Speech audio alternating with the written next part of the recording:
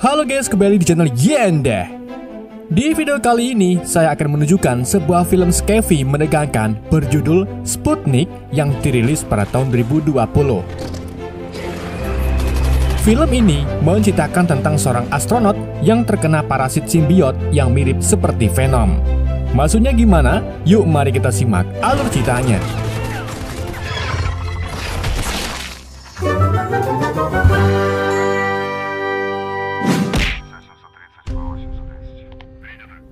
Pada tahun 1983, pesawat luar angkasa bernama Orbita 4 baru saja menyelesaikan misi Nandur Telo di bulan dan akan melakukan pendaratan ke bumi.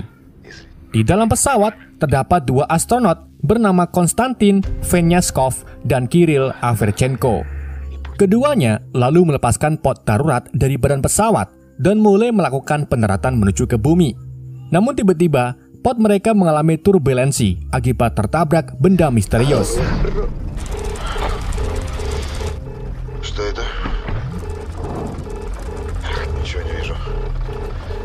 Saat keadaan tenang, mereka tak sengaja melihat sosok misterius yang merangkak dari luar jendela, yang kemudian secara perlahan masuk ke dalam pot.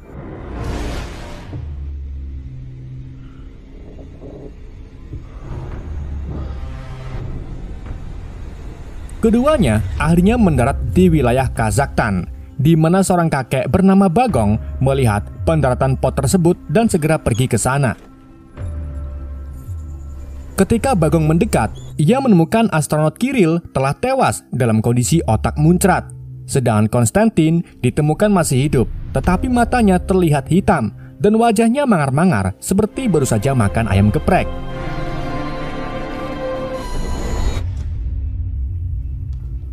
Sin kemudian beralih ke kantor lembaga penelitian otak di Moskow, di mana seorang dokter spesialis bernama Tania sedang diadili karena menggunakan metodenya sendiri untuk menyembuhkan penyakit kejang otak pada seorang bocah berusia 17 tahun.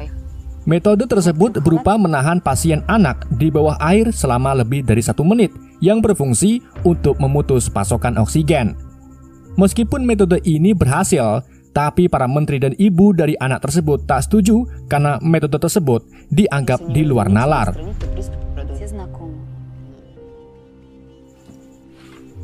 Setelah sidang selesai, Tania bertemu dengan seorang kolonel bernama Semiradov yang tertarik dengan kecerdasan Tania dan meminta agar ia bergabung dengannya di fasilitas rahasia di Kazakhstan untuk menyembuhkan astronot Konstantin yang kini menderita amnesia episodik atau tidak ingat kejadian yang menimpanya saat mendarat ke bumi.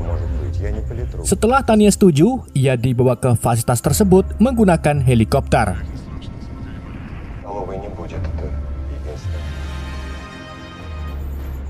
Singkat cerita, sesampainya di fasilitas, Tania melihat Konstantin yang sangat sehat sedang berbicara dengan direktur penelitian bernama Dr. Rigal di sebuah ruang isolasi.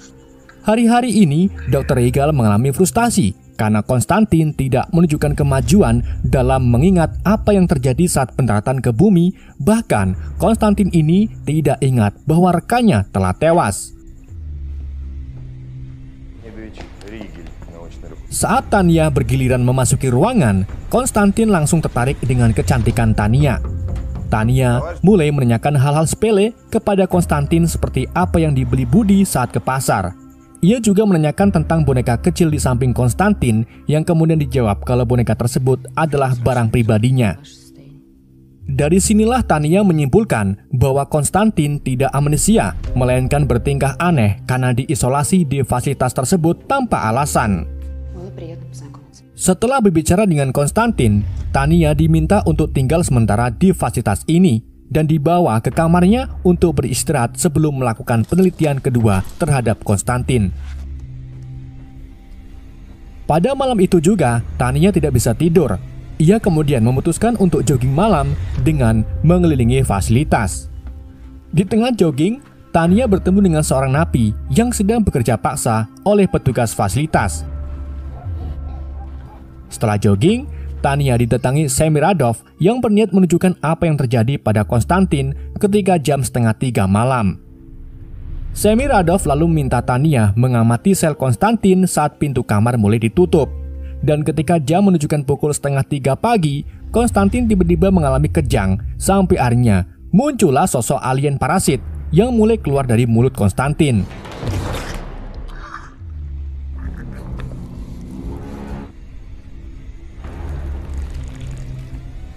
Karena penasaran, Tania memutuskan untuk berdiri tepat di luar pintu kamar guna mengamati makhluk tersebut.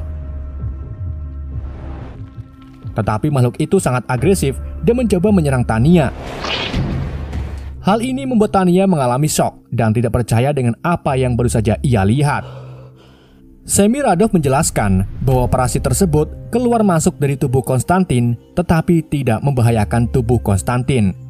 Dan yang menjadi permasalahannya adalah Konstantin sama sekali tidak ingat apa-apa tentang kejadian tersebut. Semiradov lalu meminta Tania mencari cara untuk memisahkan parasit dari inangnya tanpa menyakiti Konstantin.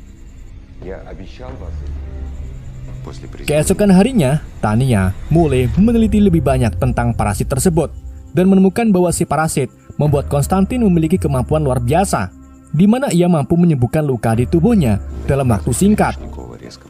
Tania juga menemukan cara alien parasit masuk ke dalam mulut Konstantin, yaitu dengan cara mengecilkan tubuhnya menjadi 30 cm. Namun saat keluar dan menghirup oksigen, ia akan tumbuh bentuk asalnya yang memiliki diameter 1,5 meter. Selain itu, Tania juga mengetahui bahwa Konstantin memiliki seorang putra yang ia tinggalkan di panti asuhan setelah ibunya meninggal. Tania lalu menelpon panti asuhan untuk mencari tahu tentang anak laki-laki tersebut, yang ternyata anak itu mengalami kelumpuhan di bagian kakinya. Tania kemudian pergi ke sel Konstantin untuk menanyakan tentang putranya tapi pertanyaan tersebut malah membuat Konstantin kesal seperti merasa bersalah terhadap putranya.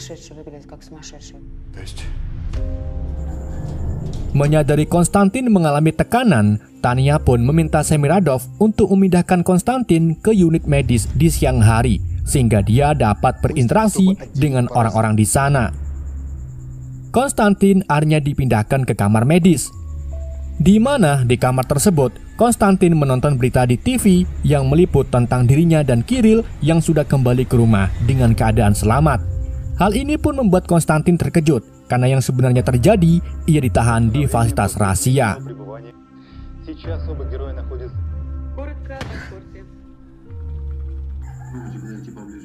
Di malam harinya, atau tepatnya saat si alien keluar dari tubuh Konstantin, Tania memutuskan untuk mengamati parasit tersebut.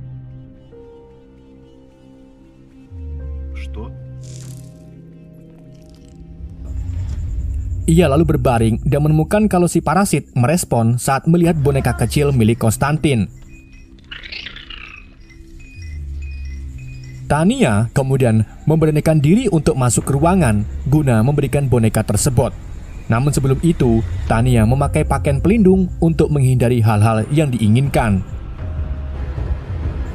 Tania kemudian secara perlahan meletakkan boneka kecil di lantai yang kemudian diambil oleh si parasit dan langsung memeluknya.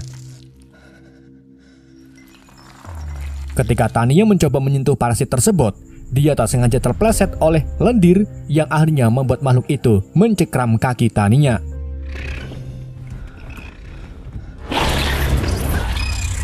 Untung saja para penjaga segera membawa pergi Tania dan menutup pintu kamar isolasi.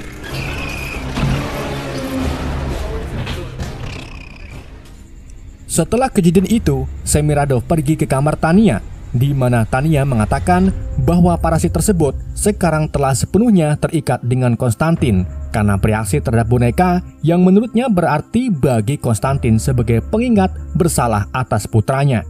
Jadi semacam simbiot mutualisme yang ada pada Venom dan Eddie Brock. Tania menyarankan agar Konstantin dipindahkan ke Moskow untuk penelitian yang tepat. Namun Semiradov mengakui bahwa dirinya bahkan belum memberitahu pemerintah tentang kondisi Konstantin dan malah berbohong kepada mereka tentang kondisi Konstantin yang sebenarnya tidak baik-baik saja.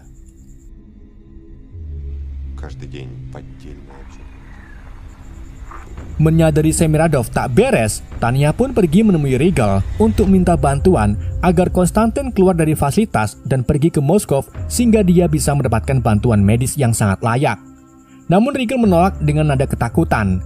Sampai akhirnya, ia pun minta Tania ikut dengannya guna menunjukkan apa yang dilakukan Semiradov terhadap para napinya. Regal kemudian menyeludupkan Tania ke dalam mobilnya dan pergi ke sebuah kandang besi.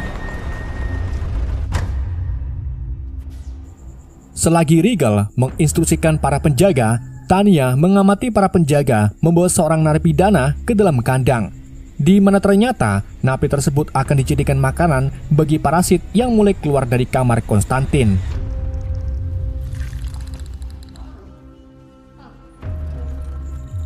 Parasit itu kemudian merobek kepala narapidana dan memakan otaknya.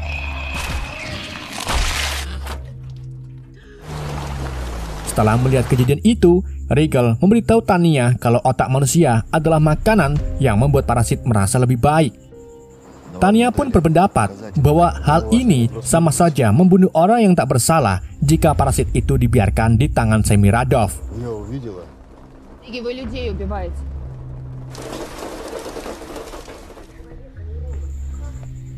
Keesokan harinya, Tania mengajak Konstantin jogging di sekitar fasilitas dan mengungkapkan kalau di tubuh Konstantin ada parasit mengerikan.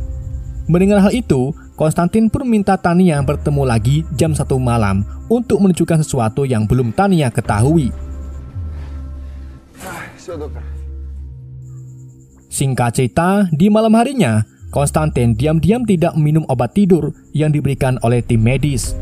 Ia lalu masukkan obat tersebut ke dalam teh dan mengajak seorang penjaga untuk menonton angkling Dharma di kamarnya sambil meminumkan teh tersebut kepada penjaga. Setelah si penjaga bobo, Konstantin pergi menemui Tania di ruang 03. Ia kemudian mengajak Tania ke sebuah ruangan yang ternyata berisi korban-korban si parasit, termasuk Kiril yang ternyata masih hidup dalam keadaan kritis. Dari sinilah Konstantin mengungkapkan kalau sebenarnya ia tidak hilang ingatan dan bahkan melihat kejadian-kejadian secara detail yang telah dilakukan oleh si parasit. Sedangkan alasan Konstantin berpura-pura insomnia yaitu untuk mengelabui Semiradov karena jika Konstantin mengakui tentang parasit tersebut, maka Semiradov tidak akan mengeluarkannya dari fasilitas ini. Konstantin juga menjelaskan mengapa si parasit tidak memilih Kiril sebagai inangnya, yaitu karena Kiril menderita kanker otak.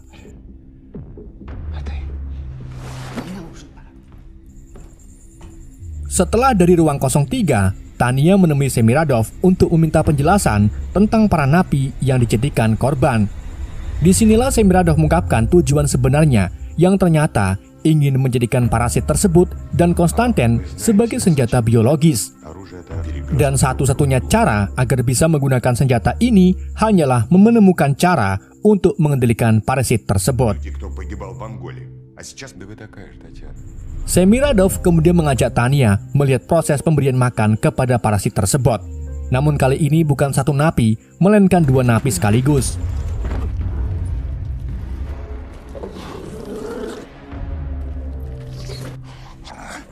Ketika si parasit mulai masuk ke dalam kandang, Tania memutuskan untuk masuk dan menyanyikan lagu kesukaan Konstantin. Di mana Lagu itu ternyata membuat si parasit merasa tenang, begitu pula dengan tubuh Konstantin. Hal ini pun membuat Semiradov terkesan karena Tania menemukan cara untuk menenangkan parasit tersebut.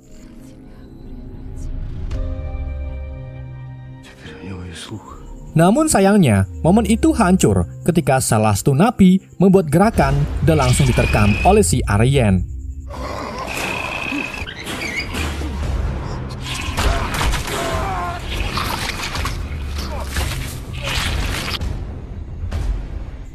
Setelah kejadian itu, Semiradov mendekati Tania dan mengungkapkan bahwa Konstantin masih belum bisa dikendalikan sehingga Semiradov memutuskan untuk tetap menahan Konstantin di sini sampai tujuannya tercapai.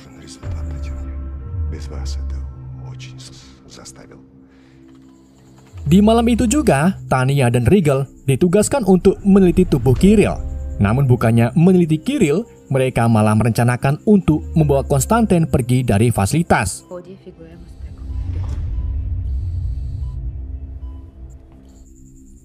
Setelah Rigel setuju, keduanya mengambil beberapa obat penenang dan menyuntikannya ke salah satu penjaga.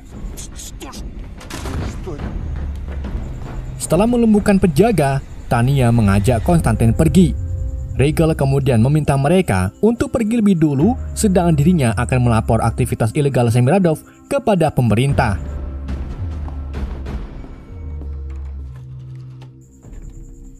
Setelah mengetahui kalau Tania membawa kabur Konstantin, Semiradov memerintahkan anak buahnya untuk mengejar mereka.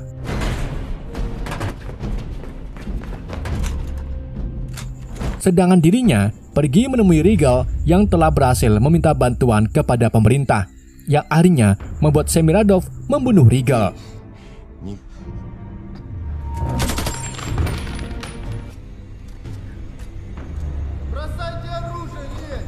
Ketika Tania dan Konstantin terpojok oleh orang-orang bersenjata, Konstantin sengaja menyuntikkan obat penenang ke dalam tubuhnya untuk mengeluarkan parasit tersebut.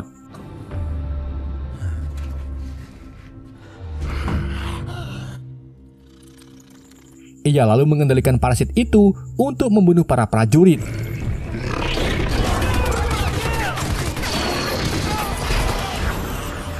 Tania kemudian mengambil kesempatan ini membuat tubuh Konstantin pergi dari fasilitas. Sementara itu, Semiradov menemukan kalau sebagian besar anak buahnya telah tewas di mangsa parasit. Ia lalu menembaki parasit tersebut yang dapat dirasakan oleh Konstantin.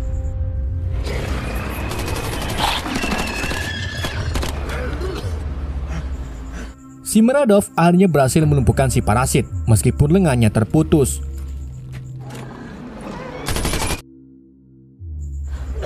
Di sisi lain, Tania terpaksa menghentikan pelariannya setelah menemukan kalau Konstantin sedang sekarat. Dan dari sinilah ia sadar bahwa Konstantin tidak bisa hidup tanpa si parasit.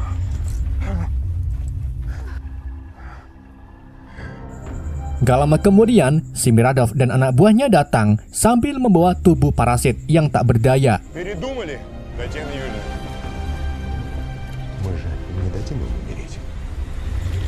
Ketika Semiradov mencoba untuk menyakiti Tania, Konstantin dengan sekuat tenaga mengendalikan parasit tersebut untuk membunuh para prajurit dan akhirnya merobek setengah kelapa Semiradov.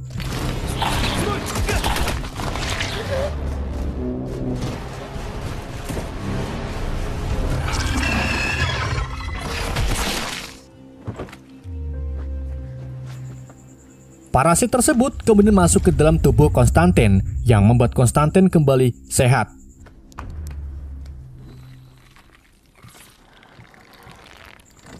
Ketika pihak berwenang datang untuk menjemput keduanya, Konstantin mengatakan kalau ia tahu cara melepaskan si parasit.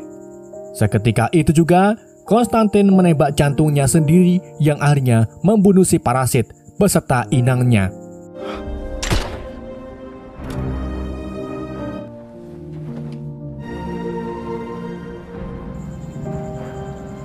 Singkat cerita, beberapa hari kemudian, Tania pergi ke panti asuhan dengan niatan ingin mengadopsi putra Konstantin bernama Liosa. Namun, yang datang ternyata bukan putra Konstantin, melainkan bocah lain yang memiliki nama Liosa. Sedang nama putra Konstantin ternyata adalah Tania. Karena diketahui bahwa Konstantin ini melakukan hubungan dengan wanita di luar nikah, dan saat wanita itu melahirkan, ia meninggal. Sedangkan Konstantin yang belum sempat mengenali anaknya malah pergi ke bulan untuk menandur telo. Dan film pun berakhir.